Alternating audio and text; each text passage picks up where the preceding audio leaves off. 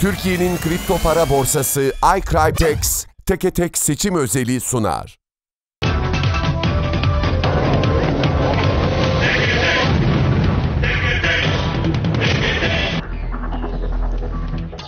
Değerli izleyiciler, seçim özel programlarımıza devam ediyoruz. Ee, Bugün çok eski bir dostumu e, ağırlıyorum aslında. Ee, Hani diyorlar ya eski Türkiye diye. Eski Türkiye zamanından e, tanıdığım, e, o zamandan beri e, ahbaplık ettiğimiz, çok da sevdiğim bir e, dostum. Ama bugün e, kendi orijinal partisinden değil ya da benim bildiğim partisinden değil, yeni partisinden e, aday e, Adalet ve Kalkınma Partisi'nin Bakırköy adayı Sayın Ali Talip Özdemir konumuz.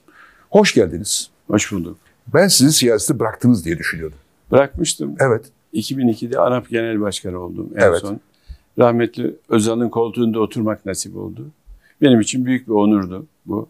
Çevre Bakanlığı'ndan sonra.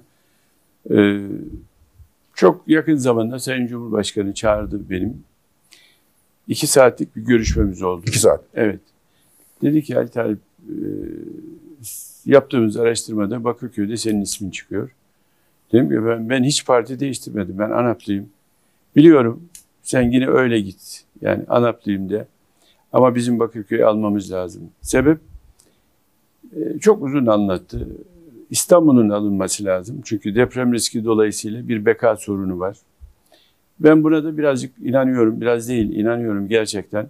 Allah korusun 7'nin üzerinde gelen bir J katsayısıyla bir çarpma İstanbul'u perişan edecek. Bakırköy'de yaptığım ölçümde sadece 732 tane bina e, tabut halinde. Yani 2.87 nüfus oranını çarptığımız zaman e, 22 bin kişi yaşıyor orada. Bir anda hayatları kaybolacak. Beni çok ürküttü bu. Bir de Bakırköy'e dönüp baktım. Aslında benim çocuklarım Bakırköy'de doğdu. Ben Bakırköylüyüm. 90'da orada iki dönem hizmet Belediye başkanı yaptınız. belediye başkanlığı yaptım. Siyasetteki ilk göreviniz orasıydı galiba değil mi? Yok Konya'da Ereğli'de. Ha Konya vardı Evet. doğru. Konya var. Ondan sonra İstanbul milletvekili oldum. Bu sırada Bakırköy'de daha iyi tanıma imkanı oldu vesaire. Sonuçta dedim ki Bakırköy'e dönüp baktım. İlk özel ödenekli tiyatroyu açmıştık biz. Yunus Emre Kültür Merkezi. Bakıyorlar. Bugün dizilerde oynayan bütün sanatçılar bizden yetişme. Bazen karşılaşıyoruz, kucaklaşıyoruz. Öyle çok e, nostaljik bir hava ortaya çıkıyor. Yani sonuçta tiyatroyu kiraya vermişler. Şimdi yeni. İstanbul Caddesi'nde ayrı bir kültür merkezi kurmuştum ben. Amacım İstanbul'da Bakırköy bir kültür merkezi olsun. Gençler için bir müzik cangıl cangıl orada birleşsinler. Güzel şeyler yapılsın. Ama İstanbul'daki kültür merkezini satmışlar. İstanbul Tamamen- Caddesi'ndekinin. Evet, binanın tamamı satılmış. İnanamadım. Çok büyük zorlukla yapmıştık onu. Kültür merkezi, Yunus Emre Kültür Merkezi o. Çok üzüldüm. Ee, vatandaşlar hep gördükçe sarılıyor. Diyor ki ya şu çöpe bak. Allah Allah. Bu dönemde çöp mü var İstanbul'da artık? Bakırköy'de. Yollar perişan her taraf. Ee, bir de çok sokak hayvanı var, köpekler. Ben de çok hayvan sever. İlk e, hayvan hakları kanunu parlamentoda ben vermiştim. Yani- Bakanınız o galiba. bakanınız. Edison'u e, biz almıştık. Evet Edison Şey- milletvekiliniz o Evet. sırada. Edison'la beraber onunla hazırlatmıştık. Hatta dedim ki kürsüye sen çık anlat Edison. Benim danışmanımdı bakanlıkta. Ondan sonra milletvekili yaptık. Daha sonra çok üzüldüm tabii yani. Dedim ki bu kadar köpek nereden? Efendim dediler gece diğer ilçelerden pikap içerisinde toplanıyor. Getirip buraya bırakıyorlar başıboş köpekleri. O kadar fazla ki. Hele Yeşilköy, Yeşilyurt'ta insanlar diyor ki sokağa çıkamıyoruz. Yırtıcı olanlar var, aç kalanlar var filan. Sonuçta viran olmuş bir Bakırköy Fatih Bey. Çok üzüldüm bunu görünce. Dönüp dedim ki ben bu kadar birikim, bu kadar görev, vatandaşın da hüsnü kabulü. Evet dedim ben Bakırköy'e hizmet edeceğim. Bu arada da e, Bakırköylü hemşerilerim hep karşılaştığımda şunu söylüyorum. 16 yıl belediye başkanlığımda hep şunu yaptım. Belediye başkanlığı seçildiğim gün parti gömleğini dışarıda bıraktım. Hiç endişeniz olmasın. Ben partili değilim. Ben hizmet için geldim. Burada Bakırköy'ü ayağa kaldıracağız. Ama Bakırköy bizim bıraktığımız Bakırköy gibi değil. Bir level yukarıda, bir basamak yukarıda Avrupa kenti Bakırköy haline getireceğiz bunu. Yalnız e, Sayın Bakanım şimdi şunu söyleyeyim. E, Bakırköy sizin Bakır, Bakırköy değil çünkü sizin Bakırköy'ünüz 2,5 milyon nüfuslu Türkiye'nin en büyük ilçesiydi. Evet, Sonra o bölündü. bölündü. İçinden 4 ilçe çıktı. Doğru. Ve bugün aslında sizin bıraktığınız Bakırköy'ün siz çok küçük bir bölümüne talipsiniz. 40, o tarihte 35 kilometre karelik bölüm. Bizde 400 kilometre Evet. Bak, Onda bir aslında evet, onda biri yaklaşık. Ama o bile perişan olmuş vaziyette. Yani dönüp bakıyorum e, Yeşilköy'de, Yeşilyurt'ta yıkık binalar kaç yıldır bu böyle bir devam ediyor? Etrafı çevrilmiş, çöp, perişan. Efendim 6 yıldır böyle. Peki neden? Burada söyleyemeyeceğiz başka nedenlerden dolayı. O binalar öyle kalmış. Yıkılmış, yapımı yarım kalmış vesaire. Bunlar çok üzdü beni. Bir an önce Bakırköy'ü toparlamamız lazım. Hem deprem riski açısından. Bakın Fatih Bey 12 bina var. 10 bin tanesi hasarlı. 10 bin tanesi. 10 bin tanesi. Bu 782 bina dediğim 732 bina artık tabut olanlar. Bunları ben deprem yönetmeninin hazırlanışında varım. İlk 3030 değişen yasa Büyükşehir Belediye Belediye Kanunu'nun Kanunu. hazırlanışında 1580 sayılı yasa zaten çok eski. Bütün bunların cem edilip e, belediye meclisiyle beraber hizmet edilmesi çok farklı bir şey. Yaşamak çok farklı bir şey. Onun için şimdi bakıyorum giden arkadaş hekim çok perişan olmuş. Bülent e, niye böyle yaptı bilmiyorum. Bülent kim? Bülent Kerimoğlu. Ha mevcut Ya, başkan. Niye böyle yaptı bilmiyorum. Ama yeni gelen arkadaşımız da hekim. Bunları anlayana kadar çok ciddi zaman geçecek arada. Belediye meclisi de etrafını insanlar çevirince onun hizmet yapma imkanının çok az olduğunu düşünüyorum ve Bakırköy'e üzülüyorum. O yüzden de ben gece gündüz hiç durmadan iki gündür inan gece uykusuz bir vaziyette koşturuyorum. Gece geç vakit geliyorum, sabah erken çıkıyorum. Amacım ben ANAP Genel Başkanıyım. Vatandaşlara söylediğim zaman şunu siz bana bu makamın üzerinde bir şey verebilir misiniz? Ben genel başkanım, bakanım. Bakırköy'de belediye başkanı olacağım. Bakın bu tit ve makam için değil. Sadece hizmet için ben size geldim. Ne olur bunu iyi düşünün. Ee, çoğu vatandaş bunu böyle baktığı zaman sarılıyor. Evet diyor doğru haklısın. Biz CHP'liyiz zaman size oy vereceğiz. Değiştiriyoruz artık. Dedim bakın ben Beşiktaşlıyım. Siz kardeş Ben takım, Galatasaraylıyım. Kardeş, kardeş takımız. kardeşler. Ben eski Galatasaraylıyım daha doğrusu. Çok severiz birbirimizi. Ama gelin görün ki bu iş takım tutar gibi değil artık. Particilik çok farklı. Peki Ali Tayyip Bey bir şey merak ediyorum. Şimdi siz tecrübeli bir siyasetçi, tecrübeli bir belediye başkanı, iki dönem belediye başkanı yapmış bir isim olarak. Şimdi Bakırköy, yani AK Parti İstanbul'da nereyi kazanamaz derseniz bir Kadıköy ki bu, bu orada bile e, galiba bu seçim biraz riskli. O maç orada falan galiba e, biraz devreye girmiş. E, yani CHP'yi yıpratıyor gibi görünüyor. Beşiktaş, Şişli ve Bakırköy. Yani bunlar CHP'nin İstanbul'daki kaleleri. İz- İzmir'i kazanması ne kadar zorsa bu ilçeleri kazanması o kadar zor görünüyor AK Parti'nin. Niye sizin gibi tecrübe biriyle daha, daha kazanabileceği ve daha iyi hizmet edeceği bir ilçe, ne bileyim bir Sarıyer değil, ne bileyim bir Kadıköy, e, gerçi orası da zordu. Ya kazanabileceği bir yer niye değil? Evet bakın. Daha ben- rahat kazanabileceği değil en azından. şunu, şunu da hesap ettim. Ben konuşurken bir kere çok dürüst bir belediyecilik yaptım. Devlet hayatımda ben buna çok önem veriyorum. Yani insanların buradan kendine gelir temin etmesi, çevresine ge- gelir temin etmesi kadar sıkıntılı bir şey yok. Çok üzülüyorum ben. Şimdi Bakırköy'de artık e, ufak bir Bakırköy olduğu için rantı azalmış. Zaten yapılan yapılmış. Orada bir sıkıntı yok. Ama Bakırköylü şuna bakıyor. Diyor ki çok kötü bir hayatımız var. Mesela Yeşilköy'de, Yeşilyurt'ta Ermeni ve Süryani vatandaşlarımız var. Diyor ki biz gece çıkar kafelerde, deniz kenarında çay içerdik. Şimdi çıkamıyoruz. Çıkamıyor mu? Çıkamıyor. Niye? İşte yabancılar dışarıdan, Çok yabancı var. bazılardan gelip efendim e, şey dilenmek için çocuklar eteğimizi çekiyor bilmem ne. Korkuyoruz diyorlar. Yani Aynen öyle. değişik kafeler açıldı gece içkili bilmem ne hiç ruhsat verilmeyecek yerlerde. Hani zabıta müdahale etmiyor buna? Maalesef. Çok ciddi bir sıkıntı var. Ee, bunun düzelmesi gerekir. Bir de işte biraz önce söylediğim deprem riski. Bir de Bakırköy'de benim mesleğim icabı. Mesela E-Devlet imzasını ben parlamentoda ilk veren milletvekiliyim. Yenilenebilir enerji kaynaklarını anayasaya zorla yazdıran benim. Güneş enerjisi ve rüzgar. Şimdi döndüm baktım Bakırköy hiçbir çatısında bir tane fotovoltaik bil yok. Ya niye koymuyorsunuz bunu? Donatın her tarafını gelir kaynağı. Şimdi depone alanlar çıktı. Depoluyorsunuz ve EPDK'ya gelir fazlasını, kullandığınız fazlasını da gelir olarak kaydediyorsunuz. Yani Bakırköy şimdi İller Bankası'ndan aldığı hissenin dışında da gelir temin etme imkanı var. Benim zamanımda çok şeyler yapılmıştı. Mesela biz Bakırköy'de kompost gübre üretmiştik 90 yılında. Geriye dönüşüm çöpten, recycle. Dönüp baktım o makinelerin hepsi satılmış. İçim yandı. Şimdi tekrar gelir gelmez artık daha büyüğünü. Mesela bir aşevi vardı. 3000 kişiye yemek dağıtıyordu. Yok, kapanmış. Bir huzur evi vardı. İçinde yatanlarla beraber kapatmışlar. Kalan o yaşlı insanları Silivri'ye göndermişler. İşler acısı. Yani onların hekimi vardı, hemşiresi vardı falan. Böyle anne baba gibi gider konuşurdum ben akşamları. Şimdi artık biraz önce söyledim ya bir üst kademeye çıkmamız lazım bir Bakırköy'de biz. Madem ben geliyorum, madem bu kadar devlet tecrübesi var. Mesela ben Bakanlar Kurulu'nu idare edecek kadar bir ekibim var. O gün Başbakanlık Müsteşarı geldi benim eski. Dedi ki efendim ben dosyaları hazırladım, projelerim var. Genel müdürler geldi, müsteşarlar geldi. Hepsi toparlandı. Dediler ki ya biz hükümeti idare Siz eski ekibi toparlıyorsunuz aslında. Evet, eski ekibimizle beraber o projeleri hazırlayıp organize ettik. Ve bunun için bir inovasyon merkezi ortaya koyuyoruz Bakırköy'de. Oluşturduk inovasyon merkezi. Ne yapacaklar? Burada mesela bakın e-spor, e-sağlık bu artık Avrupa'da olan her tarafın kullandığı. Ama şimdi Türkiye'de hükümette bu kullanılamıyor. Bazı nedenlerden dolayı. 3030 belediye 1580'e göre ben bunu yaparım. Sağlık, şeker hastası. Adam bir hafta bekliyor doktoru kuyrukta.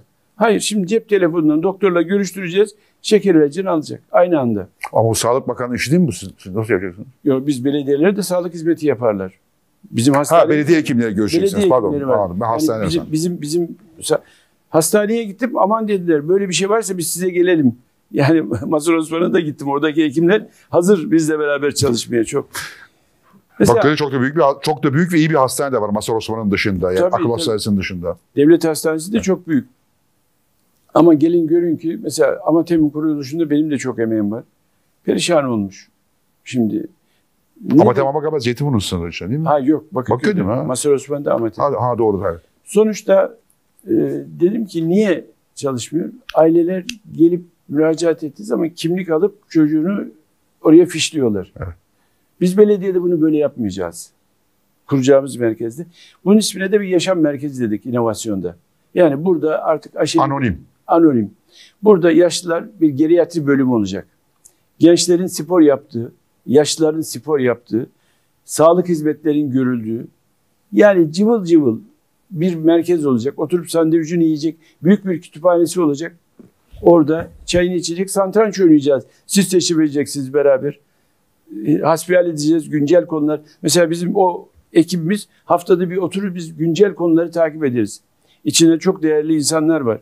Başbakanlık Müsteşar Yardımcısı, efendim işte Dünya Bankası Başkan Vekili var bizim arkadaşlarımız içinde. Her hafta oturup Türkiye nereye gidiyor? Peki Alter Bey şunu merak edeyim. Şimdi saydıklarınız güzel şeyler yani baktığımız zaman ama e, bu Bakırköy olduğu için böyle şey- ne diyeyim e, kay, krem döle krem işler yani işte inovasyon merkezi, yaşlılar yurdu falan bunlar çok güzel şeyler. Hiç itiraz etmiyorum. Peki Bakırköy'ün sizce en temel sorunları bu. Bakırköy'ün temel sorunu ne size göre bugün? Temel sorunu Bir deprem dediniz. Hayır. Deprem riski. Çok garip. Yaptığımız araştırmada ne çıktı biliyor musun? Trafik. O bütün İstanbul. 4 saati trafikte geçiyor. Bakırköy artık iyice sıkışmış. Mesela bir İncirli Caddemiz vardı bizim. Evet hala var. Bir Çin ekibini çağırdık geldi. Hiç unutmuyorum 93 yılında. Dedim ki yap işlet devlette paramız yok bizim. Gelin buraya. Yer altına alalım. 50. cadde hayır. Orta refüj vardı. Hı hı, evet. Ayaklarla beraber havaray sistemi ta İstanbul Caddesi'nden sahile kadar çıkacaktı. Tamam dediler. Ondan sonra benim zamanım yetmedi. Ben tekrar dönüp bakan oldum parlamentoda. Rahmetli Mesut Yılmaz beni çağırdı. Evet, Dedi ki sana ihtiyacımız var bazı nedenlerden dolayı. Orada bakanlık görevini ondan sonra da genel başkan oldum. O ne olmuş biliyor musun? Orta refüjü kaldırmışlar. Kaldırıma ilave etmişler onu. Hiç anlamsız. Soruyorum niye kaldırım bu kadar büyük? Şimdi trafik akşam oradan geçmeniz mümkün değil. Bitti işte. Bayındırlık Bakanı ile görüştük. Dedim ki bana yardım edeceksiniz. Delme işini siz yapacaksınız. Şükran Çiftliği var belediyenin önünden geçen. Ondan sonra Özgürlük Meydanı'nın altından İstanbul Caddesi ve Ramada Oteli'nin sahile çıkacak. Alttan. Trafiği altı alıyoruz orada. Bu hizmeti... Demir yolunu? Hayır, demir yolu değil. Önce alttan geçici demir yolu, altta üst, üstte kalacak. üstte kalacak. İskayla alacağız onu. Hı hı. Ben kendim bir de Yeşilyurt'ta, Yeşilköy'de bir demir yolu üst geçidi yaptım. Bir anda aldık. Hatta 27 günde bitirdik. Hatırlıyorum. Uğur Dündar Bey bana demişti ki ya olmaz gelip sandalyeyi koydu bitişinde göreceğim. Ertesi manşette tebrik ederim diye yazmıştı. Hiç unutmuyorum. Sonuçta o dönem çok büyük hizmetler yaptık. Yani sizin söylediğiniz gibi hakikaten krem tabakasına büyük sosyeteye hizmet eden... Yok yok o anda söylemedim bunu yani. Bunlar böyle hani artık şey e, bütün ihtiyaçları karşılanmış ve artık makyaj ihtiyaçlar bunlar Bakın ama burada- mesela başka sorun yokmuş. işte Trafik sonra Burada bir çok ciddi büyük bir Bakırköy mutfağı olacak. Burada. Öğrencilere yemek vereceğiz. ya o eski kapanan aşevini yeniden bir şekilde devreye edeceğiz. Bir de daha da geliştirip dedim ya işte gidip sandviçimizi yiyeceğiz. İhtiyacı olan gelip yemeğini yiyecek orada. Bu kaynaklar içinde Bakırköy'de imkan var. Mesela kompost gübre yapmıştık biz. Çok pahalı. Recycle'dan. Topraksız tarımı Türkiye'de ilk defa ben yaptım. Ben demekten üzülüyorum. Lütfen kusura bakmayın ama ben yaptım. 87 yılında Antalya'da şu anda 250 dönüm oldu. Sadece projesini yaptım. Maliyeti bana ait değil. Övünüyorum da ona. O bir örnek oldu ve şimdi Antalya'da bütün tarım alanları topraksız tarıma dönmeye başladı. Bakın topraksız tarım derken hiç hormonsuz biz Almanya'ya, Londra'ya, İngiltere'ye ve Ukrayna'ya, Rusya'ya domates satıyoruz. Şimdi orada satıyoruz. Antalya'dan. Evet. Şimdi bakın bu dönem yani kaynak diyorsunuz. İnsanlar aç. Sıkıntı var ekonomik. Antalya'dan ürünler perişan oldu. Diyor ki adam toplamayayım ben. Toplarsam işçiye vereceğim parada perişan. Ağaçları kesmem. Gidip tırlarla belediyenin araçlarıyla biz o ürünleri alıp direkt tüketiciye kuracağımız halk pazarlarında onlara ürün vereceğiz. Aracı çıkaracağız. Yani hal niye neler var onun içinde söylemeye gerek yok. Biz direkt aldığımız fiyattan Yani bir tür belediye tanzim satış benzeri Evet. ama üreticiden direkt alıp getireceksiniz. biz buna başlamıştık aslında. Gelip baktık o pazarların hepsi kapanmış. Başka amaçla kiraya verilmiş. Yani Bakırköy'de işler acısı Fatih Bey. Nereye bakarsanız bakın dökülüyor. Hani viran olmuş Bakırköy diyorum ya. Onun için de vatandaşın çok ciddi bir talebi var. Diyor ki ne olur gelin. Ama öteki dezavantajımız var. Ulaşma zamanımız çok daraldı. Şimdi bizim. Evet. 10 günümüz var. 10 gün kaldı. Evet. 10 günde bunu Bakırköylü'ye anlatmamız lazım.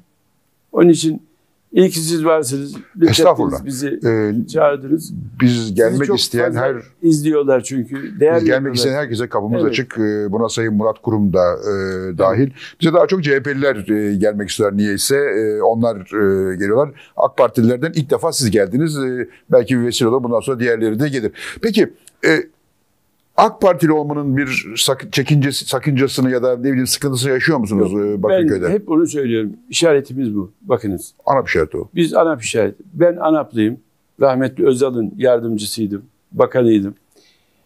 Ee, Atatürk ilkeleri ışığında kadim bir medeniyetin tekrar gelişmesi için Bakırköy'de hizmet vereceğiz. Sloganımız Atatürk bu. var. Efendim? Rozette Atatürk var. Evet. Bakın Atatürk ilkeleri ışığında kadim bir medeniyet. Bunun içerisinde Rumlar var, Ermeniler var, Süryaniler var, Aleviler var, Kürtler var, Türkler var, Sünniler var. Kim ne olursa olsun, nerede ne olursa olsun biz bu vatandaşları bir araya getirip kaynaştırıp bu hizmeti vereceğiz. Kadim medeniyet derken onu anlatmaya çalışıyorum. Ve bunları da vatandaş çok hüsnü kabulle görüyor. Mesela iki gündür Süryani Kilisesi'ndeydik. Şimdi aklınıza nereden geldi? Şimdi Süryani e, Kadim Vakfı Başkan Yardımcısı mesaj atmış. Ali Talip Bey e, size uğramış gelmiş diye size selam söylemek için bana mesaj atmış. Efendim, e, benim çok sevdiğim bir kardeşim. 35 yıllık arkadaşlığım var. Ben nikahını ben kıymıştım. Evet. E, Yusuf Çetin oranın papazı da ben başladığımda yeni göreve başlamıştı. Onunla da çok ciddi bir dostluğumuz oldu. Hatta o kadar duygulandı ki onların o sosyal tesisini yaptığımız zaman mümkün değil çivi çakmak. Dedim ki yapıyorum ben. Ne olursa olsun riski üstüme alıyorum. Yaptık. E, Kenan'ın nikahını da orada kıydık. İşte benim ikiz bebeklerim var sizin de ikiz bebekleriniz olsun filan diye e, tavsiyede bulun. Sonra onların da ikiz kızları oldu şimdi. O gün beraber resim çektirdik. Kilisede e, Metropol metropolit papaz efendi çıktı dedi ki Allah'ın bütün melekleri Ali Talip Özdemir'e yardım etsin. İkinci seçimi %52,5'la kazandı. Evet. Yani bu kadar büyük başarıydı. Ben bunu vatandaşa anlattığımda diyorum ki benim sizden beklediğim bir şey yok. Bakın bana bir ünvan verin. Ben arsa, tarla, par öyle bir şey için gelmiyorum. Böyle bir hevesim. Hayatımda olmadı. Sicilimde öyle bir şey yok çünkü. Ben sadece hizmet için geliyorum. Eğer buna varsanız, istiyorsanız Bakırköy'ü düzeltmek için gelin el ele verip bunu beraber götürelim. Ee, yalansız, dolansız ve yolsuzluk yapılmadan. Bakın burası çok önemli. Belediyecilikte alacağınız her encümen kararı buna açıktır Fatih Bey. Tabii. Biz 150 bin, Bir imzayla birini zengin Evet. veya birini fakir edebilirsiniz. Evet. 150 bin tane encümen kararı almışız. 150 bin. Evet. Bir tanesi geri 8 dönmemiş. senelik başkanlığınız döneminde. Evet. Bir tanesi geri dönmemiş. Sadece Bakırköy'de. 150, 150 bin. Evet. Bir tanesi geri dönmemiş. Muhalefet meclisi vardı benim zamanımda. Evet. Bir tanesi dönmemiş. Mesela şimdi şikayet ediliyor. Ben geldiğimde Nurettin Sözen Büyükşehir Belediye Başkanı.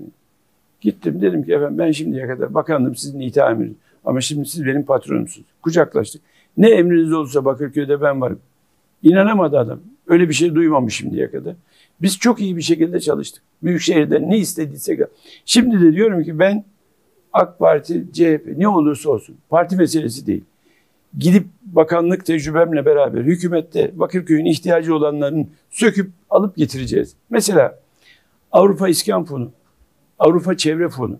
Biz şimdiye kadar oradan bir türlü proje götürdük alamadık. Sebebi ne biliyor musunuz? Daire başkanlığı vardı bizde. Ancak bakanlık olduktan sonra müracaatımız. Ben onu biliyorum. Gidip oradan söküp alacağım. Yeni deprem e, yönetmeliğinde Avrupa Deprem Fonu 40 milyar para gönderdi geçen gün. Biz ondan Bakırköy'ün hakkını gidip alacağız. 40 milyar şeye yolladı. Devlet Evet, hükümete. hükümete yolladı. Ama yani şunu anlatmaya çalışıyorum. İşi bilip gidip söküp alıp gelmek. Bütün mesele bu. Ben Yani yapacağım. siz hangi kaynakları kullanabileceğinizi, hangi imkanları harekete geçirebileceğinizi tecrübeyle biliyorsunuz. Biliyorum. Onun için biz bu kaynaşma içerisinde Bakırköy'ü ayağa kaldıracağız. Mesela bakın örneklerden, kaynaklardan bir tanesini. İşte biraz önce güneş enerjisinden bahsettik. Çok ciddi bir özellik. Mesela deprem oldu. Bizim Bakırköy'ün çok ciddi bir kıyısı var. Evet. Biz oradan hiç Ve tam da faya bakıyor. evet, hiç trafik olarak yararlanmıyoruz. Çok garip. Yani hiç teknelerimiz yok. Ha deniz trafiği, ha, deniz trafiği olarak evet. Şimdi eğer yolda oraya çıkacak olursak Avusturya'ya gitmiştim ben. O eski oraya deniz olmuştur gidiyor. Artık gelmiyor mu? Geliyor ama yani eser miktarda. Silivri'ye kadar gidecek bilmem. Yani bütün anında 18 kişilik tekneler yapmışlar Avusturya'da. Yanaşma zamanı 6 veya 4 saniye. O kadar arkaya bir motor koymuş evet. Minibüs gibi. Yani hiç bekleme zamanı yok. Onlardan alıp bol miktarda koyup trafiği orada rahatlatacağız. Bir de maalesef deprem için bekleme mekanlarının hepsi el değişmiş. Ortada bir şey yok Bakırköy'de. Yani Allah korusun bir şey olduğunda toplanma yeri yok. Denizi düşündük. Tsunami'nin olmayacağı bölgeleri hesap ediyoruz. Oraya büyük deniz araçları koyacağız. Aynı zamanda hastaneleri koyacağız. Şimdi biliyorsunuz amfibik tankların geçtiği plastik şeyler oluyor. Bastığınız zaman onlarla beraber denize çıkıp deprem anında öyle bir proje bizde var. Yani biz denizi çok amaçlı kullanacağız.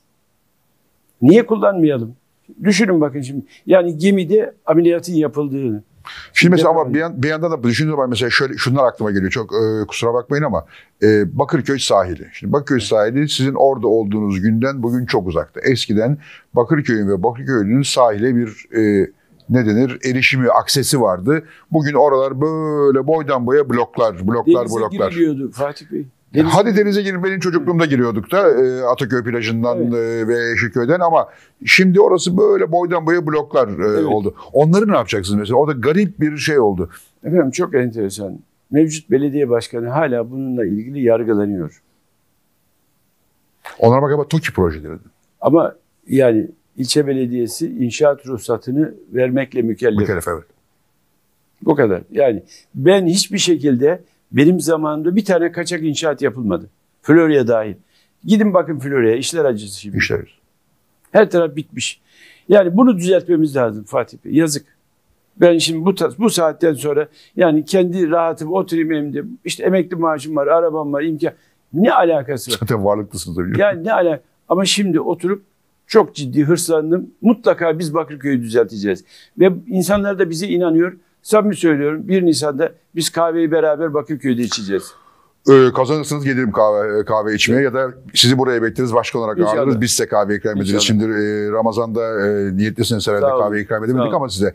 E, şey de e, ilgimi çekti. Şimdi geçenlerde, e, geçenlerde 2-3 gün önce e, Bakırköy'den geçiyordum. Siz kampanyanızda çok fazla parti zikretmiyorsunuz. Yani sanki bağımsız adaymış gibi etrafa baktığımda öyle bir hissiyata kapıldım. Efendim ben Sayın Cumhurbaşkanı'na da arz ettim. Ben dedim Anaplıyım. Yani bunu bir... Dedi ki git sen ne yapacaksan yap kardeşim. Bakırköy'ü alın dedi yani. Parti dedim ya parti gömleğini çıkaracağız. Ha, partisiz gibi yani. Yani parti bizim için AK Parti'nin kendi tabii ki beraber arkadaşlarla görüşüyoruz, ediyoruz falan. Ama e, Cumhuriyet Halk Partisi'nin yoğunluklu olduğu bir yerde biz anavatan felsefesiyle yüzde 52,5'la kazandık. Şimdi o felsefeyle yine seçimi kazanacağız Allah'ın izniyle. Ama imkanları getirmek için bu sistemi kullanacağız. Yani ben gidip oradan söküp alıp geleceğim. Yani ANAP felsefesiyle e, belediye başkanı olacağım ama AK Parti imkanlarıyla hizmet edeceğim deme, diyorsunuz anladığım kadarıyla. Yani nerede ne var biliyorum hükümetin. Ne, nerede ne var? Hangi hangi Alınır. düğmeye basarsam Bakırköy'e ne Evet, ne biliyorum. olacak? Biraz önce söyledim. Hükümeti idare edecek kadar bir kapasitemiz, Evet. bir şeyimiz var. Yani gençler için çok ciddi bir e, şey. Mesela hayvanlar için. Ha onu söyleyeyim hayvanlar dediniz. Şimdi Hayvan hastanesi. Hayvan, o mesela ne yapacaksınız hayvanlar için? Çünkü dönüm- hep tartışılıyor. Özür dilerim lafınızı kestim gibi oldu ama belediyeler hayvanları itlaf mı etsin, toplasın mı, onları bir e, bakım evine mi alsın, kı- kısırlaştırsın mı? Ne, yap, ne yapmayı planlıyorsunuz? Efendim şimdi 30 dönümlük bir yer. Ataköy'ün aşağısından gelen baktık. Bütün inşaat atıkları atılmış boş. E, hazine arazisi. Konuştum vali beyle alıyorum orayı. Ben burayı bana ayırın ben alacağım dedim. Tamam. Hı. Ha, e, Barınak. perişan bir vaziyette. Dedim ki 30 dönümü hayvan hastanesine ayırdık. Burada nedir? Sokak köpeklerini toparlayacağız. Yırtıcı olanların ayrı bir bölümde koloni halinde onlar da canlı yani hepsini Tabii kısırlaştırıp ortada koloni halinde olanları orada bırakacağız. Hayvanlar için bir de ayrıca kliniğimiz olacak. Ameliyatını, cerrahi bölümünü. Hayvan hastanesi olacak. Sizin hayvanınız var tahlile gideceksiniz. Getirip oraya bırakacaksınız. Yani komple bir tesis kuracağız orada. 30 dönüme bir Evet. hayvan hastanesi, olacak. bakım tesisi ve hayvan oteli. ücretsiz olacak, elemanları olacak, teknisyenleri olacak, veterinerleri olacak. Hatta bulduk bile veteriner, gönüllü veteriner. Dediler ki biz gelir çalışırız sizin orada. Bakın ne kadar güzel bir şey bu.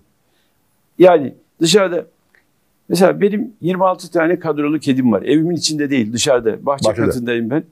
Onların hepsine bakıyorum. Kaliteli mama verdiğimiz için hepsi bize geliyorlar. Hatta çocuklar olduğunda enselerinden tutup bana getirip koyuyorlar kapının önüne. Bu sizin çocuğunuz falan.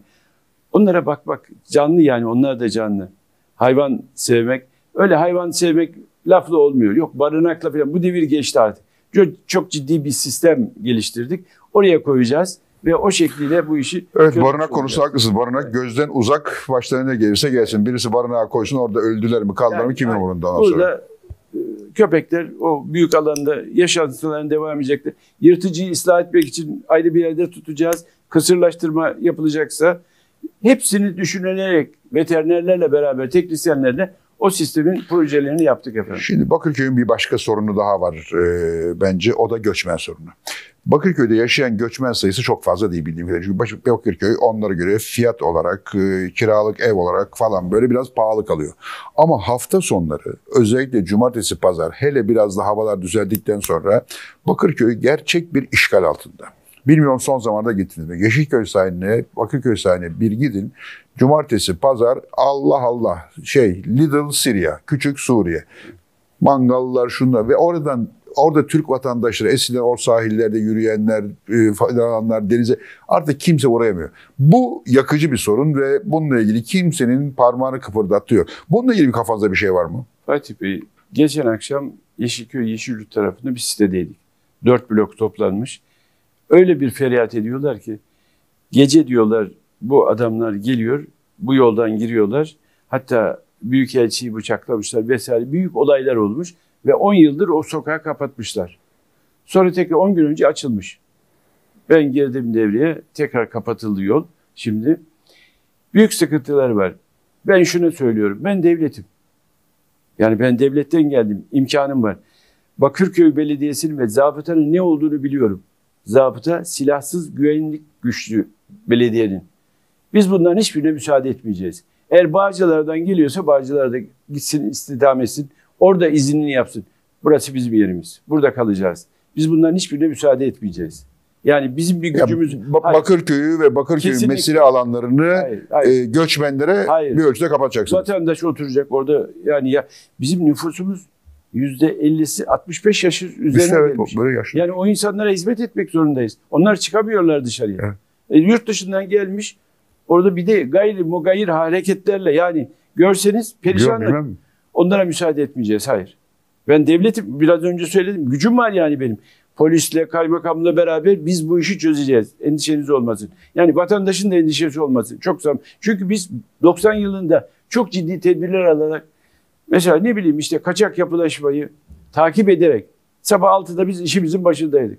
Belediyecilik o elimizde takip. Kodumuzun ismi Yunus'tu. Bastığımız zaman bütün Yunuslar sokağa dökülüyordu. Diyor ki Yunus bir gelmiş herkes ayakta. Öyle yapacağız yani belediyeci. Kanunu biliyoruz. İşin nasıl yapılacağını biliyoruz. E o zaman vatandaşa huzur gelecek. Bir de bakın doğumundan ölümüne biraz önce Kenan Bey aradı nikahına her şeyle belediye var. Biz artık kadim medeniyet derken o insanları bir araya getireceğiz. Biz her akşam bir sitede toplantı yapardık. İnsanları bir araya getirirdik. Sohbet ederdik. Şimdi artık bir cinnet toplumu olmuş. Trafikte geçerken adam sen benim önüme geçtin diye çıkıp Silah silahıyla vuruyor. Komşusu benim yerime park, Park ettin, ettin diye vuruyor. Demir yumrukla kafasına, demir çubukla. Bütün bunların bir araya gelip konuşarak işte kadim medeniyet Hala ANAP binleri. Evet, evet. Ana filmde. Yani e, şunu da söyleyeyim. Rahmetli Özal'ın çok güzel bir sözüydü o. Kutsal. Halka hizmet hakka hizmettir. Yani siz yaptığınız hizmeti kutsal olarak görmeniz lazım. ibadet olarak görmeniz lazım. Ben o şekliyle Bakırköy'e geldim. Bunu yapmak istiyorum. Ve başaracağımıza da kesin inanıyorum. Çok güzel. Na- Nasıl görüyorsunuz kazanma şansınızı? Çünkü hakikaten İstanbul'da en zor yerlerden birindesiniz. Mesela bakın Şu anda bir oy oranı var mı Bir- gördüğünüz bir anketlerden falan çıkan? mahsur varsa sözcü Hiç mi? Sözcü televizyon beni aradı. Dedi ki sizi davet ediyoruz. Eyvallah ben hemen hazırım. Programınız size göre yaparım dedim. Sözcü TV benim için çok önemli. Yalnız dedi Ayşegül Hanım'la sizi beraber çıkaracağız. Hay hay. Sonra tekrar geri dönüp dediler ki kusura bakmayın Ayşegül Hanım gelemiyor. Çıkmak istemiyor. Sebep? Yani bilmiyoruz.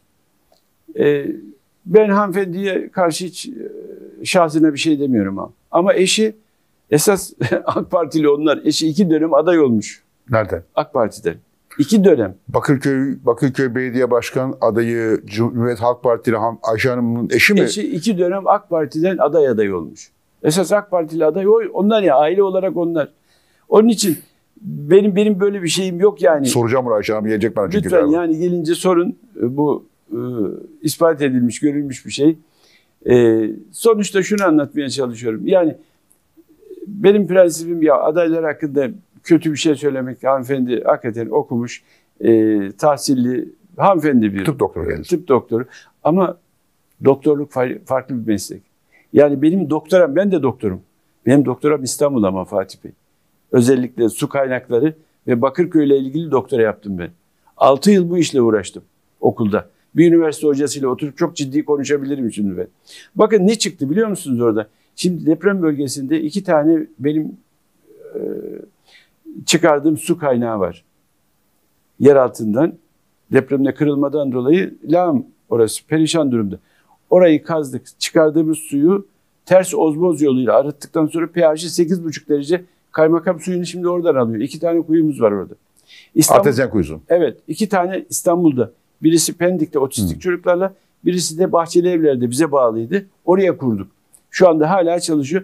Hatta oranın enerjisini de güneş panelleriyle yani elektrik de kesilse pompa durmuyor. pH'i 8,5 derece su elde ediyoruz. O kadar kaliteli bir su. Hiçbir masrafı yok. Sadece zaman zaman tuz ilave ediliyor o kadar. Yani bütün her şeyi hazır İtalyan şeyi ters ozmoz, revir ozmozdan geçiriyoruz.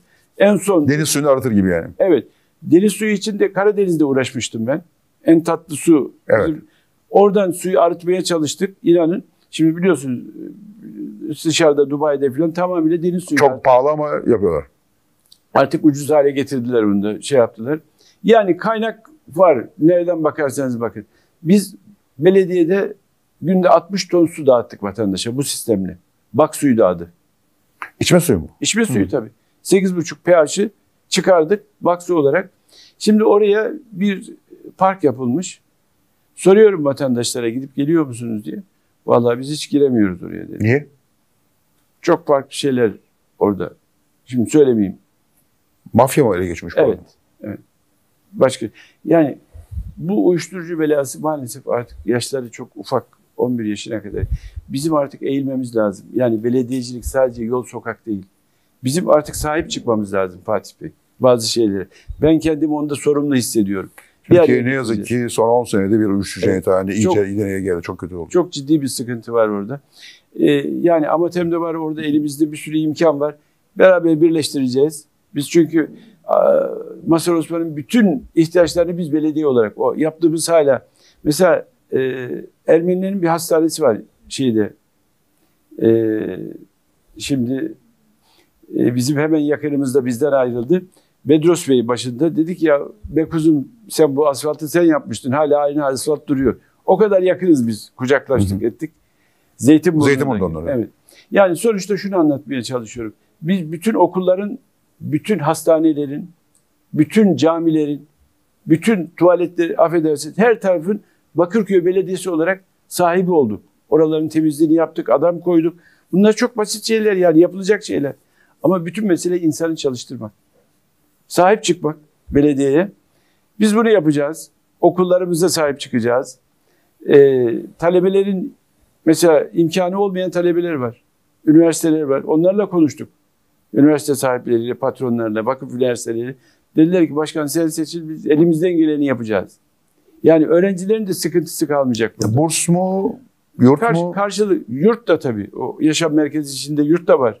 Ben şimdi zamanınızı almak için çok fazla detaya girmek istemedim. Orada bütün imkanları sağlamış olacağız bu öğrenciler için. Bunların hepsi mümkün. Hepsi yapılacak şeyler. Ama bütün mesele isteyebilmek, kaynakları doğru kullanabilmek. Teşekkür ediyoruz Halit Alp Bey. Ee, benim sorma gerek ama zaten her şeyi anlattınız. Ee, eskiden e, bir eskiden gelen bir e, belediye başkanlığı e, ne diyeyim tecrübesiyle bütün konuları anlattınız. Tabii bunları yapmak için yapmanız gereken ilk şeyin ne olduğunu biliyorsunuz değil mi? Seçilmek. Valla Fatih Bey şunu söyleyeyim. Yani ben e, çok fazla seçim geçirdim. Evet. E, hemen hemen Sayın Cumhurbaşkanı ile eşdeğer benim geçirdiğim seçim. Belki fazlası olabilir. İptal edildi evet. E, şimdi dönüp bakıyorum vatandaşın. Ben hep elini sıkarken gözünün içine bakarım tecrübem. Ve hiç kağıttan konuşmadım şimdiye kadar. Bütün salon konuşmalarımızı irticalen yaparım. İnsanların gözüne bakarak. Oradan aldığım tepki insanlar bir heyecan içerisinde. Yani ben seçimi kazanacağıma inanıyorum. Çünkü insanlar diyor ki ya doğru artık bu sefer particilik yok. Aman şu işten kurtulalım Allah aşkına. Şu perişanlık. Mesela bakın sabah belediye binasını yıkıyor başkan arkadaşımız. Niye bilmiyorum. Niye bugüne bıraktı? Hiçbir tedbir yok. Ee, ekskavatör vuruyor. Bütün oradan vatandaş geliyor bir parça kafasına değse. Ya belediye bunun tedbirini alır vatandaşa ikaz eder. Kendi binasını yıkarken böyle bir tedbir yok. Bakıyor Belediye Başkanı binası mı yıkıldı bugün? Binasını yıkıyor evet. Allah Allah enteresan. Seçime bir, bir hafta Yani kala. bir hafta kala binayı yıkıyor. Bir hafta kala Bakırköy Yunus Emre Kültür Merkezi'ni kiraya vermiş. Ha, yeni mi verilmiş kiraya? Yeni verildi evet. Yani düşünün. Yazık işler acısı. Yeraltı çarşısı o kadar münazaralı, o kadar problemli bir yer ki orayı da kiraya veriyor. Orada oturanlar şimdi ne yapacaklar? Hepsi geldi bana. Diyorlar ki ya ne yapacağız biz? Yeniden bu çarşı kiraya verilmiş. Bunun gibi bir sürü şeyler. Satılan yerler var, bilmem neler var. Ama bunun tedbirini ben aldım hiç merak etmeyin. Yani idare mahkemesi öyle öyle yağma yok. Vatandaşın hakkını yedirmek yok kimseye. Ben bu işi biliyorum. Siz idare mahkemesine başvurdunuz, başvuracak mısınız? Vurduk. Hangi yetkiniz var mı başvurmak için? Belediye meclis üyelerinden bir tanesi dava açtı. Ha belediye meclis üyesi açtı. Siz, siz değil. Tamam. Vatandaş da açabiliyor. Vatandaş açabilir göre. evet. Yani ben de vatandaşım ben de açabilirim yani. İkametgah Baköy'de mi? Tabii Aa, tabii tabii. Tamam. Peki Alper Bey. Allah yardımcınız olsun. Ne diyeyim size kolaylıklar diliyorum. Efendim sağ olun. Ee, İyi ki varsınız. Çok teşekkür Estağfurullah. ediyorum. İyi ki hepimiz Sağ olun. varız. Hep, hep olun. beraber bu ülkeyi oluşturuyoruz. Yani bu Ee, memleket bizim. e, Aynen, başka ben eli taşı, taşın altına soktum. Fatih. Ben, ben size onun için teşekkür ederim. Evet, Yani bu bu e, siyaseti bırakmışken e, artık oturup torun torba sevme e, yaşına neredeyse yaklaşmışken e, ve ne diyeyim hayatın tadını çıkaracağınız günlerde yeniden aktif bir şekilde hizmet etmek için dönmüşsünüz. E, bu takdire şayan. Ama vatandaşın derdi beni her gün dertlendiriyor inanın. Dedim ya iki gündür uykusuzum diye. Olan bir hadiseden dolayı stresle onu yaşadım yani. Uyuyamadım. O yüzden biz bu işi inşallah yapacağız, başaracağız. Dediğim gibi kahveye bekliyoruz sizi bir Nisan. Tamam e, biz de sizi program bekliyoruz Çok seçilirsiniz. teşekkür ederim. Değerliciler e, Adalet ve Kalkınma Partisi Bakırköy Belediye Başkan Adayı eski Çevre Bakanı, eski Bakırköy Belediye Başkanı e, Sayın Ali Talip Özdemir e, konuğumuzdu. E, iCrypex'te yaptığımız e, seçim özel programları önümüzdeki günlerde bütün, seçime kadar bütün hızıyla devam edecek. Hoşçakalın.